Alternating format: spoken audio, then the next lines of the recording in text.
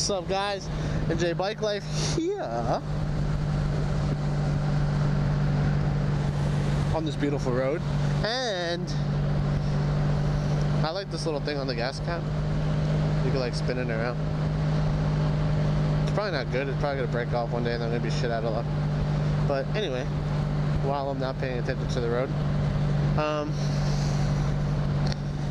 yeah, let's talk about why I went with this sweet ass 1983 Honda V1100 Magna V65.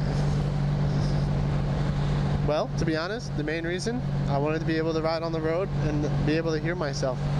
I wanted to be able to go 50 miles an hour and be comfortable on a bike. If the dirt bike that I had, like if the WR is um, like set up for the road, I would totally, you know, would have just kept that but I like it too much in the dirt to convert it back to being, you know, a bike that's capable of 85 miles an hour. So, my main reason from wanting a bigger bike was to be able to have a bike that would ride on the highways.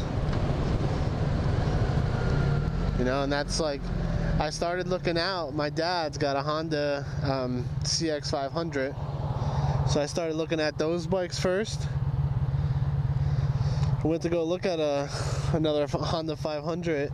It was relatively cheap, but um, it wasn't as good of condition, and I wasn't able to talk the guy down on price as low as I had wanted it. So I um, I passed on that one. And then my dad told me, he was like, dude, you can't get a 500. You gotta get, you know, a 750 or a, a 1000 1100 otherwise you're gonna get no respect on the road. And i'm like what do i need to respect for? You know i just want to ride up and down the streets be able to go on the highway the parkway the interstates. And then i like thought about it. I mean i started looking and i found this one but this one was in like a sketchy neighborhood so i didn't know how good it was. So uh, i called the guy and he sounded like a real trustworthy guy he sounded like he knew what he was talking about as far as the bike goes. And I mean, 6,000 miles. You cannot beat 6,000 miles. Like, no matter what. Even if the bike has got billions of issues, it's still got 6,000 miles. You can put in another 500 to a grand fixing it. And then for whatever you paid for plus the 500 to a grand, you can go and you know sell it back five years down the road after you use it to get 10,000 miles on it or 20,000 miles and you'll still get your money back. So you know I, I, was, I didn't really want to get a 1100cc bike but at the same time this bike was the right price at the right time and I was able to talk the guy down even less than what he had it listed for and I was comfortable pretty much at what he had it listed for. So that's why I picked this up and it actually like really worked out. The kid was amazed that I had a camera on the side of my head.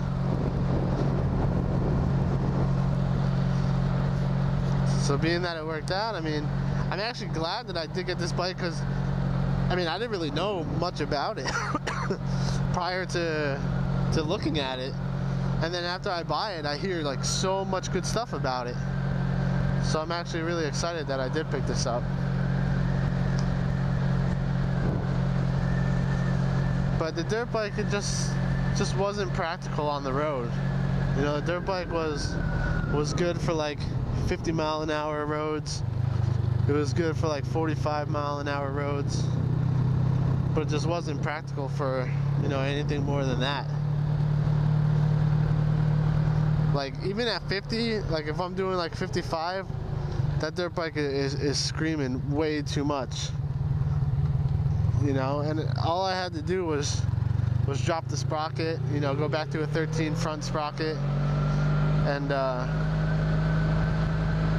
is it 13 in the front or is it or is it 14 in the front? Yeah, I'm not too sure. I think it's 14 in the front because I think I did drop it to 13. You know, so I could have just went to 14 in the front.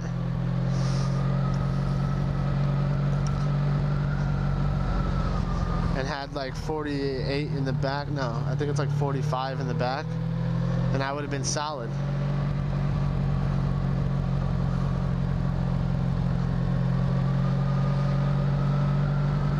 But then I'd lose all my torque in, uh, in the woods. What's the point of having a dirt bike if you can't ride it in the woods? So I wanted to keep it a dirt bike. You know, I didn't want to put it back to the street bike. Because that DR200 SE, the first bike that I had, the Suzuki, that bike was like perfect for the the street. You know, that bike would do 70 easy.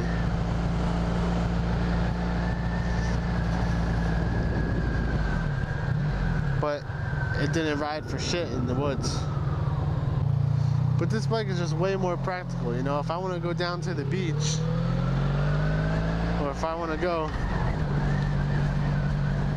you know, realistic anywhere.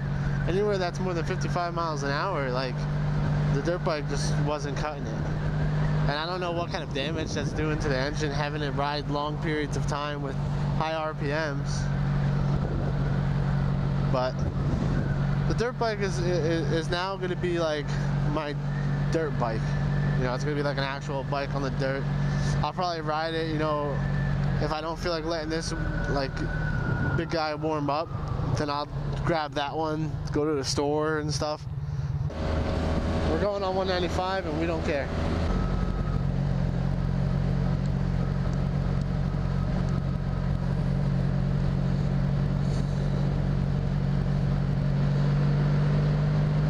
I just annoy anyone by going really slow around the corner?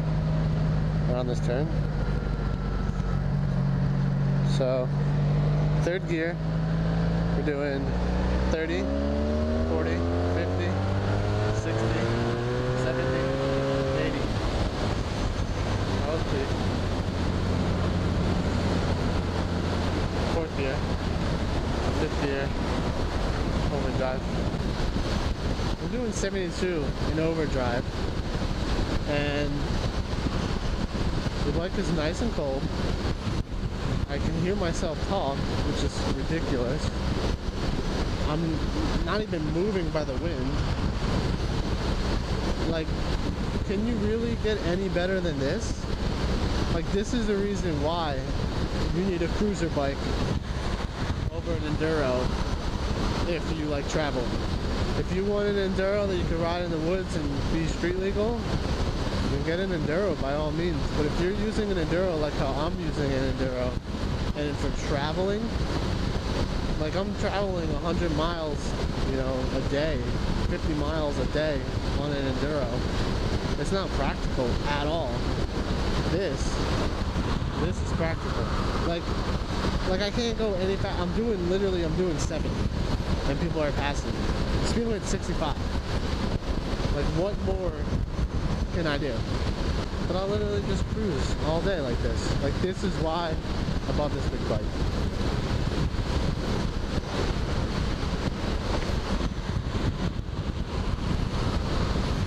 She looked at her mirror, got up out of her seat, looked back at me, and then turned.